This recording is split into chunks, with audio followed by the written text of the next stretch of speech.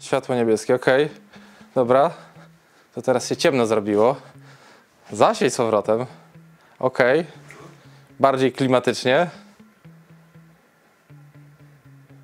Dzień dobry. Już nagrywamy od chwili. Tam akurat siedzi właściciel tego pięknego oto miejsca. Jak zawsze bardzo chciałbym się pochwalić, ile się tutaj napracowałem, ile tutaj moich e, różnych pomysłów zostało użytych, ale tutaj muszę przyznać, że akurat nawet nie tylko dlatego, że siedzi i słucha dokładnie co mówię, ale tutaj też jest ogromna właśnie praca klienta, żeby to to miejsce przeinaczyć z miejsca, które de facto wcześniej było siłownią, plus tam było jeszcze parę dodatków, właśnie w to, co zostało tutaj osiągnięte. No i jest kino domowe. No jak jak zwykle na moim kanale można powiedzieć, no jest kino domowe, ale to kino jest troszeczkę specjalne, dlatego że jest położony bardzo, bardzo wysoki poziom dbałości o detale, o szczegóły, nacisk na wszystkie drobne elementy, plus jest to też spięte e, przez klienta ze sterowaniem na właśnie oświetleniem, jak widzicie, i innymi małymi rzeczami, takimi jak na przykład wszędzie zrobiona po kolei na tych ścianach to jest akustyka, żeby poprawić właściwości brzmienia wraz z konsultacją z, jak pamiętam, z chłopaków z Zagiechu. Koledzy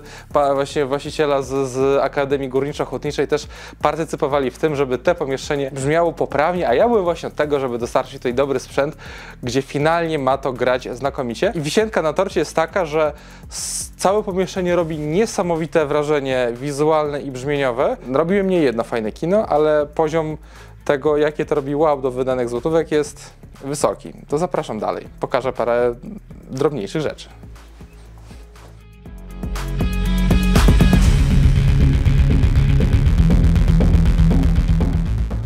Zacznijmy od ekranu. Ekran jest naprawdę potężny, 290 cm, 290 cm szerokości aktywnej. Jest to ekran ramowy na grubej ramie 8 cm od Kaubera z powierzchnią F3DD, czyli tą podbijającą kontrast i poprawiającą ogólny odbiór całego postrzegania obrazu, a na niego projektor JVC RS 1100, czyli można powiedzieć, że najtańszy JVC bo jedynie 30 parę tysięcy, ale nadal to jest Javis i obraz w momencie jak zgasicie światło wygląda tutaj abstrakcyjnie idealnie. Przed chwilą oglądaliśmy kawałek Marsjanina i oczy wypadają, bo taka jest sama szczegółowość tego obrazu.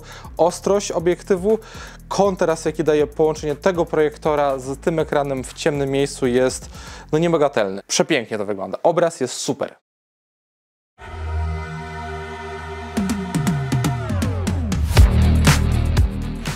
Jako audio, tak zwana półka rozsądna od Clipsha, czyli RP8000 Mark II, czyli najlepsze Clipsze, zanim to będzie kosztowało 22 tysiące za, za parę kolumn. Dodatkowo głośnik centralny 504, też oczywiście Mark II. Dwa subwoofery Clipsha SPL 150 one każde po 400 W mocy ciągłej. Po bokach takie dwie 502 SA, dwie sztuki głośnika dipolowego po prawej i po lewej stronie, plus jeszcze dwa głośniki bezpośrednio tylne, czyli są surround i back surround i jako amplituner Arkham AVR 5, czyli e, ten bazowy Arkham, który daje po 60 W mocy prawdziwej na każdy kanał, ale to jest 60 W mocy takiej prawdziwej, rzeczywistej i bezwzględnie istniejącej przy 8 mach na wszystkie kanały naraz wysterowane. Efekt jest taki, ma małżonka przyszła i powiedziała, żebyśmy trochę przestali testować, więc jest głośno. Jakby nie narzekasz na brak dźwięku, jak nie, nie, nie narzekamy na brak dźwięku.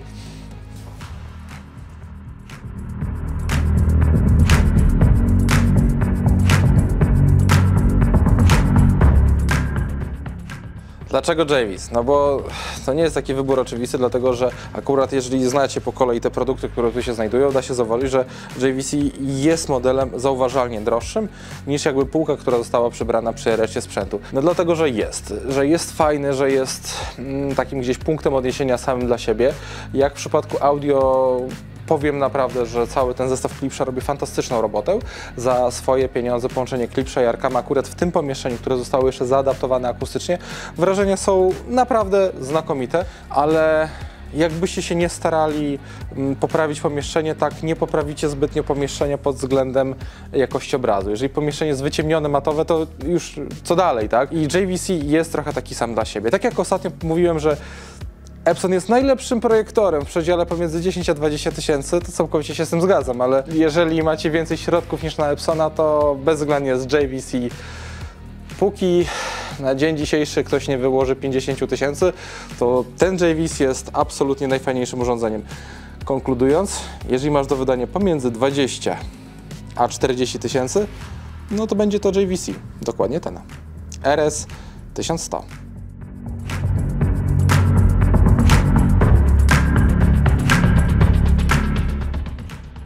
Serio projektowałeś te plakaty?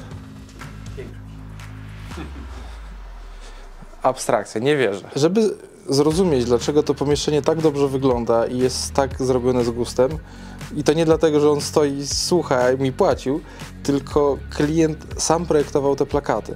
Jasne, niektóre grafiki, niektóre motywy, tak, są to motywy, które możecie po prostu ściągnąć z sieci, no ale trzeba jeszcze to umieć zaaranżować, połączyć i stworzyć. No jakby każdy widział ładną kobietę, ale nie potrafi każdy namalować Monalizy, więc przyznaję, jeżeli to jest e, dzieło twórcze samego klienta, tak naprawdę no, moja gratulacje, bo przyznam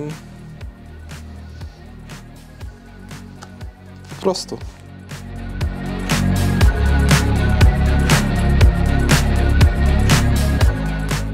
Jak zwykle nie jestem Wam w stanie pokazać dokładnie jakości obrazu i jakości dźwięku w takim pomieszczeniu, dlatego że są to rzeczy, które ciężko jest pokazać przez kamerę, ale jak gasną wszystkie światła, ten JVS daje abstrakcyjnie dobrej jakości obraz i to nie na płytach Blu-ray, na jedynym odtwarzaczu Panasonica UB9000 najlepszym jaki obecnie jest, tylko na YouTubie, na Netflixie, na Disneyu.